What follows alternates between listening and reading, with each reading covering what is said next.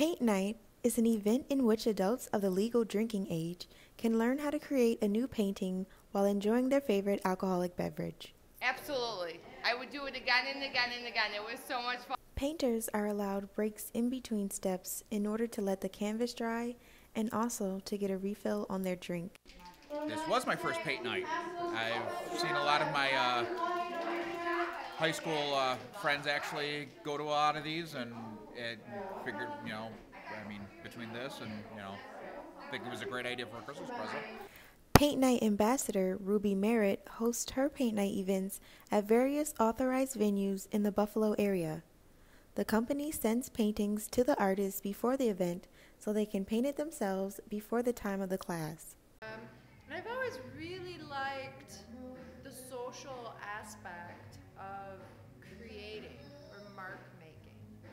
so it's really enjoyable for me to kind of see how novices or people who never pick up a paintbrush or um, just tonight one of my customers was like i'm a math person but i love my painting so that makes me feel good because it's really just about being willing to experiment and kind of have a fun time Reporting for the Buffalo Review, I'm Makeda Singletary.